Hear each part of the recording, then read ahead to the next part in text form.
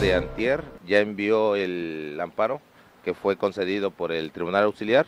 El día de ayer ya salió publicado, en este caso por el Juzgado Décimo de Distrito, que solicita el cumplimiento al Juzgado Tercero. Entonces hoy les da tres días. Se supone que hoy debe de empezar a contar el término. Precisamente ahorita vengo a verificar que ya haya recibido el cumplimiento de la sentencia de amparo y le da un término para de tres días hábiles para que en su momento a más tardar estaría el martes ya resolviendo.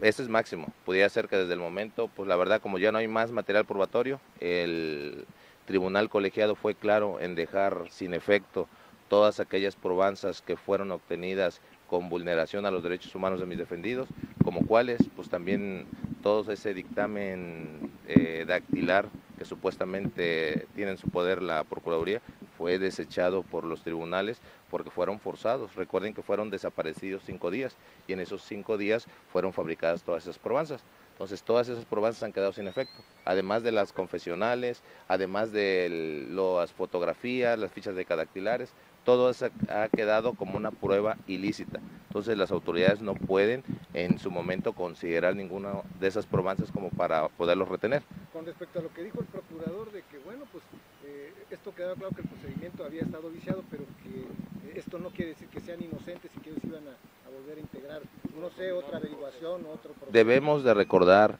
que eh, la mina donde pudieran encontrarse todos aquellos indicios que pudieran incriminar a una persona es el lugar de los hechos. Como todos sabemos, el lugar de los hechos desde su inicio fue contaminado por personas de la misma comunidad de Dios. Fue contaminado y a la fecha tenían la obligación de asegurar por cualquier cosa, si no fue hecho debidamente el procedimiento, tener el lugar de los hechos para volver a investigar. Ya ahorita todo está viciado. ¿De dónde van a sacar las pruebas? Si el lugar de los hechos ya no se encuentra. Más nunca aseguraron ese lugar las pruebas que supuestamente tienen ya están viciadas. Es una situación eh, desde el punto de vista jurídico que no es creíble. Ahora no se puede juzgar dos veces a la misma persona. Eh, recordemos que el juzgamiento resulta hasta que emite una sentencia. Aquí fue un término constitucional. O sea, aquí pueden, en uso de sus facultades, pueden investigar. Y sí solicitamos nosotros que pudieran investigar, pero ya no hay pruebas. Las pruebas científicas que pudieran encontrarse en el lugar de los hechos ya no se encuentran. Han sido desvirtuados el otro reclamo, tan pronto se logre la libertad de los cuatro implicados, los cuatro presuntos, que ya no son presuntos, eh, es el de una indemnización. ¿Cómo se va a tasar esto? Vamos a ver que aquí, eh, con motivo de la queja que fue presentada ante la Comisión Nacional de los Derechos Humanos, que también intervino lo que fue la Comisión Nacional, que directamente fue de la Comisión Nacional donde realizaron el protocolo de Estambul y determinaron que hay graves vejaciones, tanto físicas, psicológicas, en agravio de mis defendidos y le recomienda a la Procuraduría General de Justicia que los indemnice, los indemnice por todo el tiempo que han estado recluidos, que eso incluye pues el tiempo que han dejado de elaborar, incluye todas aquellas impactos psicológicos y físicos para poderlo resarcir. Es un procedimiento que se verá saliendo, que ya es decisión de cada uno de los, de los clientes, ¿no? Ya es una situación aparte ya está la recomendación y está aceptada por la Procuraduría General de Justicia, en el cual aceptó que sí debe de indemnizarlos. Pero es un procedimiento administrativo que se debe de realizar. Si bien es cierto que dentro del mismo protocolo de Estambul se está determinando las vejaciones que fueron objeto, como son daños psicológicos, daños físicos, que eso abarca no nada más eso, pues abarca también todos los traumas de los familiares, ¿no? De manera colateral. Pero es una circunstancia aparte, de manera administrativa.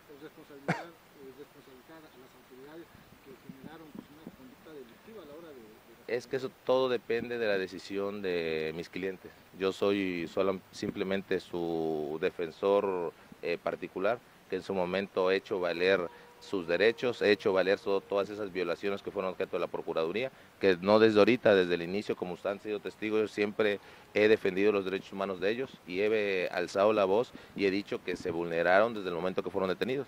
Y afortunadamente la autoridad judicial hoy nos da la razón.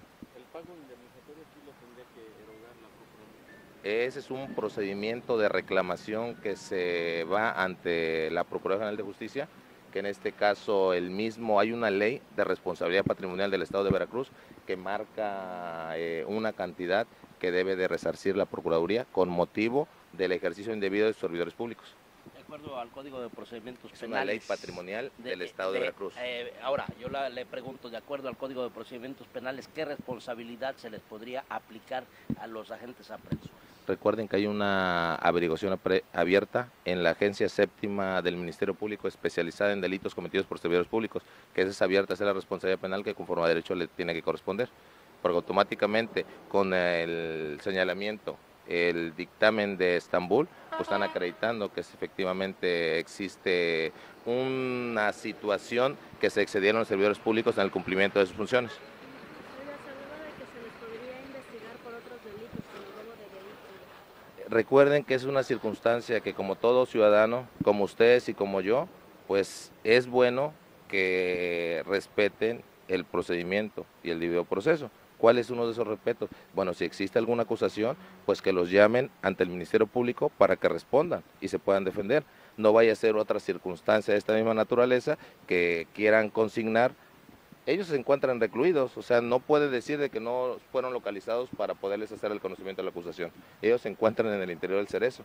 Entonces, eh, considero que sería una mala cortina por parte de la Procuraduría, porque entonces estaría fraguando otra circunstancia de la misma naturaleza. Hay vulneración, estaría fabricando una represaria. Y eso pues son testigos toda la ciudad de Coaxacualcos. Si tiene alguna acusación ellos, lógico es que sean requeridos por parte del Ministerio Público o de la autoridad donde se encuentra la acusación para que ellos, en uso de su derecho, contesten vía ministerial o vía declaración si son ciertos, si son falsos y se aporten las pruebas.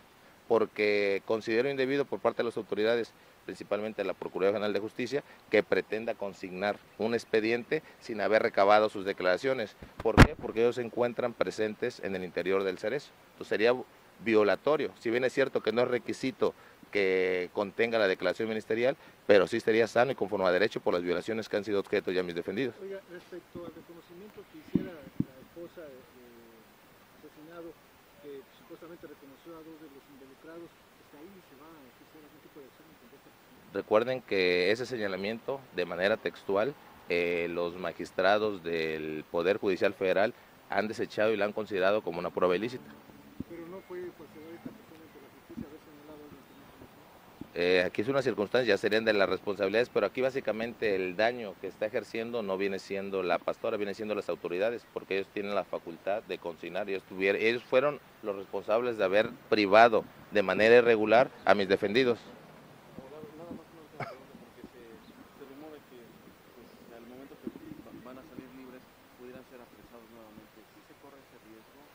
Es que recuerden, recuerden que estamos conscientes de que mis defendidos no han cometido delito alguno. No existe hasta la fecha alguna imputación que les hayan hecho del conocimiento.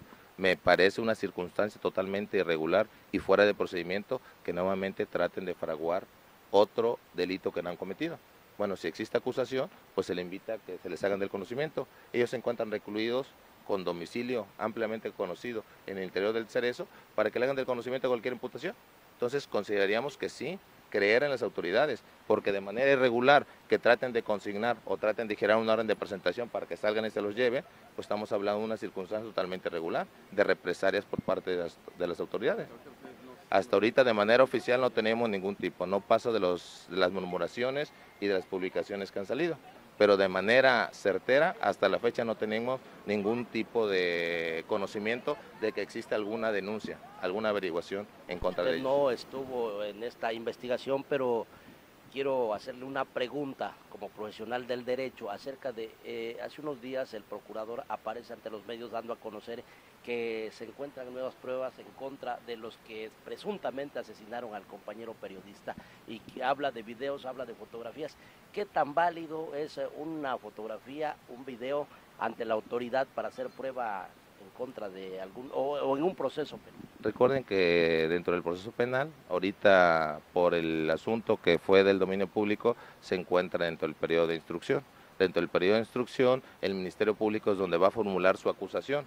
La defensa, pues en su caso, va a defender que son inocentes. Entonces es un, es un aporte de pruebas que sí se encuentra considerado válido, de acuerdo a la etapa procesal Aquí vamos a ver la otra circunstancia. Recuerden que todos esos elementos de prueba pues deben de considerarse y deben de presentarse al momento de que se consigna, de que se ejercita acción penal.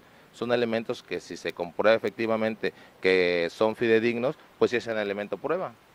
Vamos aquí a considerar, se tienen que considerar muchas cosas. El lugar de los hechos es una de las herramientas y precursora de todos los indicios. Al lugar de la detención también. Existe un intercambio entre el lugar de los hechos, entre la víctima y el victimario. En esas tres circunstancias es donde se debe recabar toda esa información.